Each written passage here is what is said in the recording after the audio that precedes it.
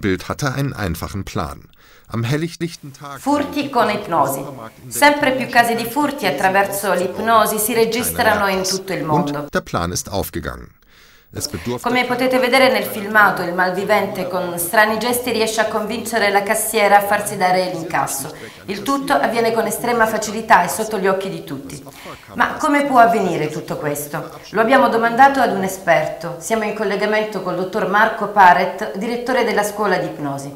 Buonasera, dottor Parret. Buonasera. Come può accadere che una ragazza di un supermercato sia ipnotizzata e dia via i soldi così facilmente? Il tutto è ottenuto grazie allo sguardo e la persona entra in uno stato di coscienza passiva, quindi ad un certo punto non capisce più e praticamente la sua mente va come in uno stato di off. E quindi cosa succede esattamente? Praticamente eh, segue direttamente quello che gli viene detto dall'esterno, non ha volontà attiva e reagisce con una pseudologica, cioè se gli viene detto qualcosa lo fa. Ci può fare un esempio? Facciamo- Adesso facciamo vedere. Buongiorno.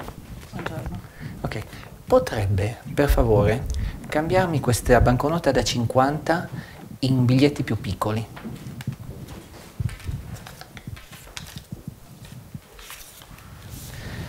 Senta, mi guardi, potrebbe cambiarmi questa banconota da 10 in due da 5? Anzi, scusi un, un attimo, signor, stavo pensando una cosa. Mi può ridare un attimo indietro i 50 di prima? Quelli di prima, però, signora, avevano un cerchietto sopra. Guardi attentamente. Devono avere un cerchietto. Guarda attentamente. Me li dia che controllo anch'io. Me li dia. Dia che controllo. Me li dia che controllo. Me li dia. Grazie signora. Prenda questi qua intanto.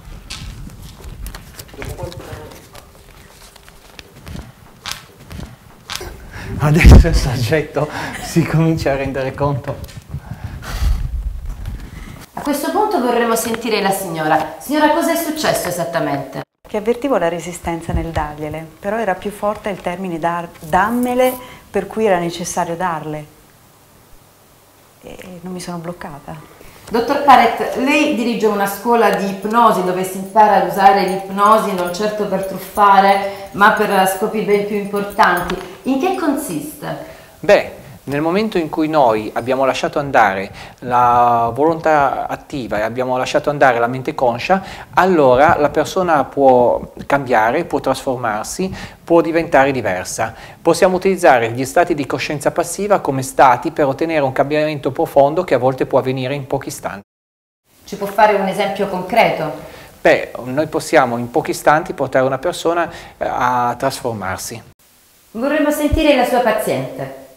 Sto vivendo un po' un periodo un po' particolare della mia vita e quindi ho deciso di fare questo esperimento per vederci un po' meglio. Adesso faremo vedere una piccola tecnica per indurre un cambiamento. Guardami un attimo. Vorrei che tu pensassi qui qualcosa che tu desideri per te, qualcosa che ti piacerebbe, qualcosa che vorresti avere. Guardami negli occhi se vuoi che sia vero, guardami negli occhi.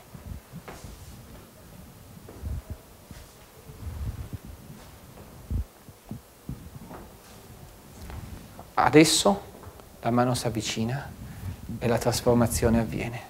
Gli occhi si chiudono.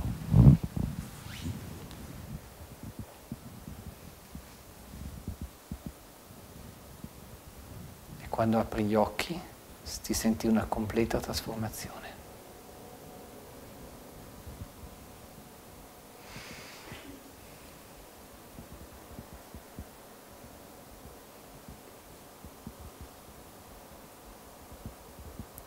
Come va? Molto bene. Notte. La persona si trasforma molto profondamente perché accediamo a una parte prima ancora della, della mente conscia, della mente logica. Ti ricordi quello che è successo? Ho pensato a una cosa che volevo realizzare e che volevo sentire dentro di me, esattamente una forza. È stato qualcosa nelle gambe, non so, qualcosa che mi porta ad agire, qualcosa che mm, sicuramente mi servirà. Bene, ottimo. Grazie. cambiamento interviene perché noi appunto interveniamo su una parte più profonda della mente e portiamo la persona a modificare dall'interno se stessa. È l'inconscio che poi processa le informazioni che gli diamo e che a sua volta procura il cambiamento come lui vuole. Incredibile. Senta, dottor Parrett, chi può partecipare alla sua scuola?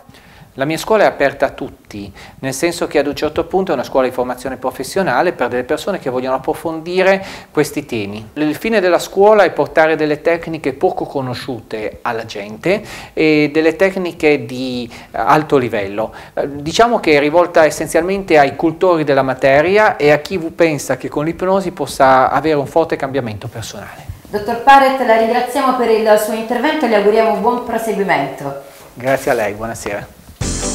Molto interessante l'ipnosi come terapia. Bene, proseguiamo col nostro telegiornale, linea ora alle notizie sportive.